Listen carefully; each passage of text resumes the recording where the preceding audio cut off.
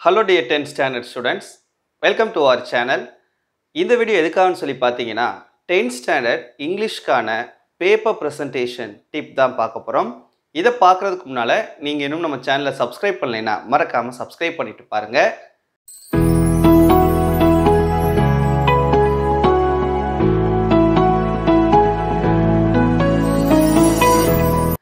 So public exam எழுதக்கூடிய tenth standard students உங்களுடைய tenth English பேப்பரை எந்த அளவுக்கு நீங்கள் நீட்டாக ப்ரெசன்ட் பண்ணுறீங்க அப்படின்றது ரொம்ப ரொம்ப முக்கியம். நீங்கள் மார்க் ஸ்கோர் பண்ணுறதுக்கு நல்லா படித்து எழுதினா மட்டும் போதாது. உங்களுடைய எக்ஸாம் பேப்பரை நீங்கள் எந்த அளவுக்கு நீட்டாக ப்ரெசென்ட் பண்ணுறீங்க அப்படின்றத பொறுத்தும் உங்களுக்கு மார்க் ஸ்கோர் பண்ணுறதுக்கு அதிகமான சான்சஸ் இருக்குது. ஏன்னா எந்த அளவுக்கு நாம் படித்து எழுதுகிறோமோ அதை எந்த அளவுக்கு நம்ம ப்ரெசன்ட் பண்ணுறோம் அப்படின்றது ரொம்ப ரொம்ப முக்கியம். ஒருத்தவங்க நல்லா படிக்கக்கூடியவங்களாக இருப்பாங்க. ஆனால் எழுத்து பார்த்தோன்னா ரொம்ப மோசமான எழுத்தாக இருக்கும்.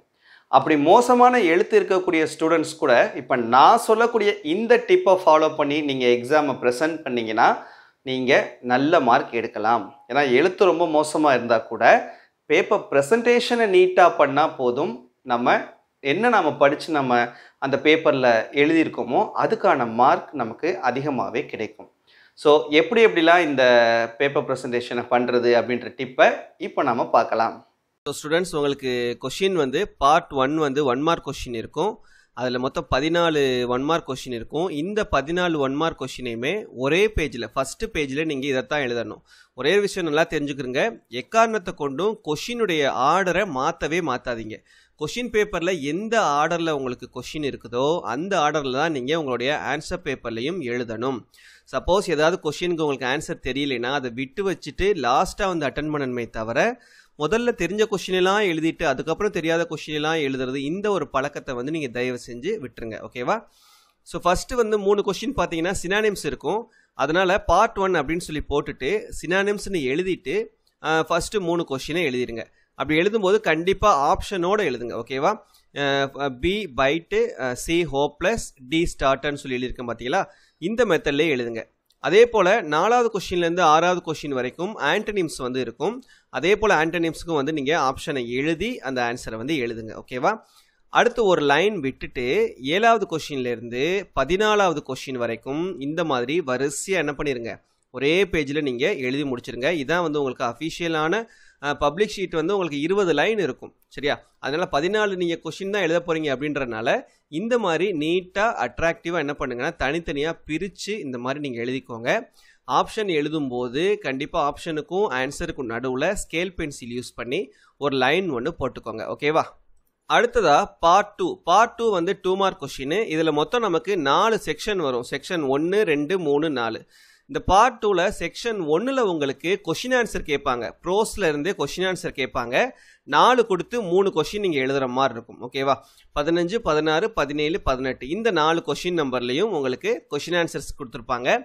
இந்த நாலில் உங்களுக்கு எந்த மூணு கொஷின்ஸ் வந்து நல்லா தெரியுதோ அந்த மூணு கொஷின்ஸை அட்டன் பண்ணுங்கள் அப்படி அட்டன் பண்ணும்போது அந்த மூணு கொஷினையும் ஒரே பேஜில் எழுதுகிற மாதிரி பார்த்துக்கிறங்க அதை தவிர அந்த பேஜில் வேறு எதையும் எழுதாதீங்க. கரெக்டாக ஒவ்வொரு கொஷினுக்கும் நடுவில் ஒரு ஒரு லைன் விட்டு அதே போல் அந்த கொஷின் ஆன்சர்ஸ்க்கு வந்து ஹெட்டிங் போடுங்க. ஹெட்டிங் போட்டு இந்த மாதிரி ஒரு க்ளவுட் சிம்பிள் மாதிரி போட்டு அதை பென்சிலை வச்சு இப்படி ஷேர் பண்ணி விடுங்க.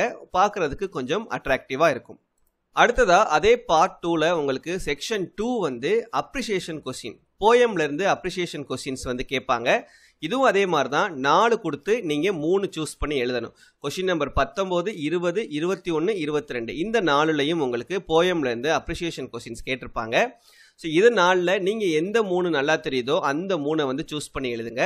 எப்படி நான் கொஷின் ஆன்சர்ஸ்க்கு சொன்னேனோ அதே போல் இந்த அப்ரிசியேஷனை மட்டும் ஒரு பேஜுக்கு எழுதுங்க. அதில் பேலன்ஸ் லைன் இருந்தது அப்படின்னா அதை அப்படியே விட்டு வச்சுருங்க.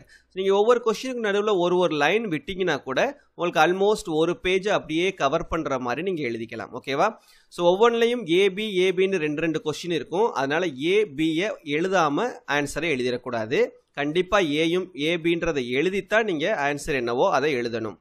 அடுத்து இதே பார்ட் டூவில் செக்ஷன் த்ரீ வந்து உங்களுக்கு கிராமர் போர்ஷன் இருக்கும். மொத்தம் அஞ்சு கொடுத்துட்டு அதில் ஏதாவது மூணு நீங்கள் சூஸ் பண்ணி எழுதுகிற மாதிரி இருக்கும். கொஷின் நம்பர் இருபத்தி மூணு இருபத்தி நாலு இருபத்தி அஞ்சு இருபத்தி ஆறு இருபத்தி ஏழு. இந்த அஞ்சில் ஏதாவது மூணு நீங்கள் சூஸ் பண்ணி எழுதுகிற மாதிரி இருக்கும்.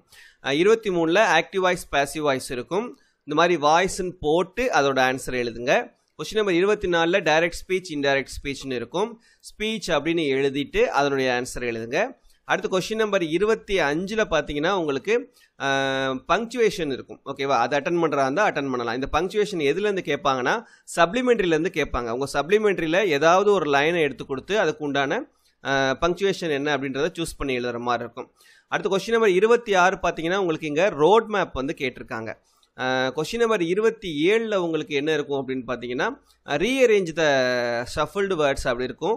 ஸோ இதில் எந்த மூணு உங்களுக்கு நல்லா தெரியுதோ அந்த மூணு நீங்கள் சூஸ் பண்ணி எழுதிக்கிறீங்க நான் வந்து இப்போ இதில் வாய்ஸு ஸ்பீச்சு ரோட் மேப் மூணு வந்து எழுதியிருக்கேன். அடுத்ததாக இதிலே செக்ஷன் ஃபோரில் தான் ஆக்சுவலாக இருபத்தி எட்டாவது கொஷினில் தான் ரோட் மேப் வந்து இருக்கும் உங்களுக்கு கம்பல்சரி கொஷினாக பட் இங்கே பார்த்தீங்கன்னா இந்த கொஷினில் உங்களுக்கு என்ன கேட்டிருக்காங்கன்னா ஸ்லோகன் கேட்டிருக்காங்க. கேமராவுக்கும் சானிடைசருக்கும் வந்து ஒரு ஒரு ஸ்லோகன் எழுதுங்க அப்படின்னு சொல்லி கேட்டிருக்காங்க. ஸோ ஸ்லோகன் வந்து இந்த மாதிரி தான் எழுதணும். ஒரு லைனில் ஒரு நாலஞ்சு வேர்ட்ஸில் சிம்பிளாக எழுதுறது மாதிரி இருக்கணும். ஸோ இதுக்கு ஒரு ஒரு மார்க் வந்து அவங்க அலாட் பண்ணியிருப்பாங்க. ஓகேவா ஸோ இந்த மாதிரி செக்ஷன் த்ரீயவும் செக்ஷன் ஃபோரையும் ஒரு பேஜில் எழுதுகிற மாதிரி பார்த்துக்கோங்க. அடுத்ததாக பார்ட் த்ரீப்பா இந்த பார்ட் த்ரீக்கு தான் நீங்கள் ரொம்ப இம்பார்ட்டன்ஸ் கொடுக்கணும். ஏன்னா பத்து ஃபைவ் மார்க் கொஷின்ஸ் நீங்கள் எழுத போகிறீங்க அது மட்டும் இல்லாமல் இதுக்கு டைம் பத்தவே பத்தாது. கிட்டத்தட்ட பார்த்தீங்கன்னா நீங்கள் மூணு பேராகிராஃப் எழுதணும் ஒரு சம்மரி ரைட்டிங் எழுதணும் அட்வர்டைஸ்மெண்ட் எழுதணும் நோட்டீஸ் ரைட்டிங் எழுதணும் லெட்டர் ரைட்டிங் எழுதணும். இது எல்லாமே பெரிய பெரிய கான்செப்ட் அப்படின்றதுனால டைம் பத்தாது. ஸோ ரொம்ப ஃபாஸ்ட்டாக எழுதணும்.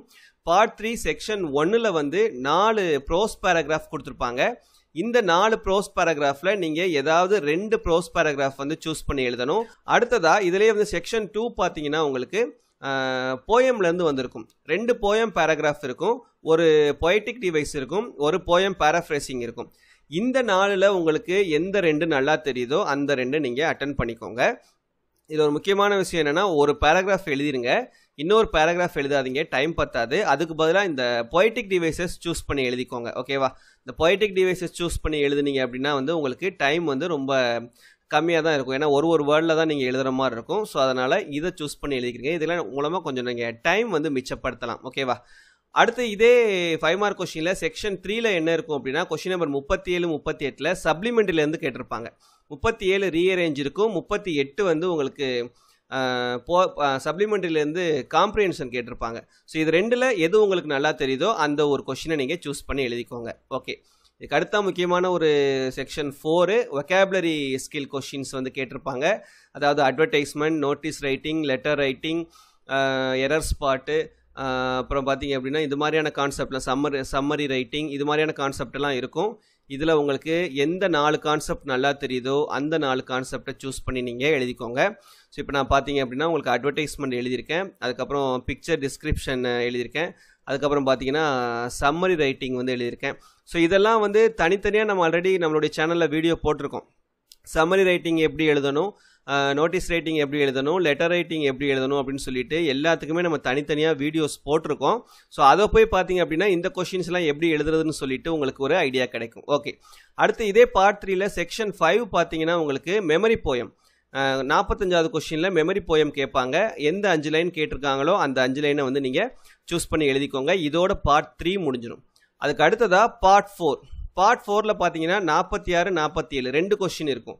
நாற்பத்தி ஆறில் சப்ளிமெண்ட்ரிலேருந்து பேராகிராஃப் கேட்டிருப்பாங்க. இதுக்கு எட்டு மார்க்கு எட்டு மார்க் அப்படின்றனால இந்த சப்ளிமெண்ட்ரி பேராகிராஃபை குறைஞ்சது நீங்கள் நாலு பேஜுக்காவது எழுதுறது மாதிரி பார்த்துக்கோங்க. ஓகேவா அதுக்கு அடுத்தது நாற்பத்தி ஏழாவது கொஷினில் இதில் என்ன இருக்கும் அப்படின்னா வந்து passage comprehension or poem comprehension இருக்கும். அது ரெண்டில் எது நல்லா தெரியுதோ அதை நீங்கள் சூஸ் பண்ணி எழுதிக்கோங்க. ஓகேவா ஸோ ஸ்டூடெண்ட்ஸ் நீங்கள் இங்கிலீஷில் வந்து நல்ல மார்க் ஸ்கோர் பண்ணணும் அப்படின்னு நினச்சிங்கன்னா இப்போ நான் சொன்ன இந்த பேப்பர் ப்ரெசன்டேஷனுக்கான டிப்ஸ் எல்லாத்தையுமே நீங்கள் வந்து கரெக்டாக ஃபாலோ பண்ணி எழுதுனீங்கன்னா கண்டிப்பாக உங்கள் பேப்பர் பார்க்குறதுக்கு நீட்டாக இருக்கும். கரெக்ஷன் பண்ணுறவங்களும் வந்து நல்ல மனசோட கரெக்ஷன் பண்ணுவாங்க. உங்களுக்கு மார்க்கும் வந்து கண்டிப்பாக நல்ல அதிகமான மார்க் வந்து கிடைக்கும்.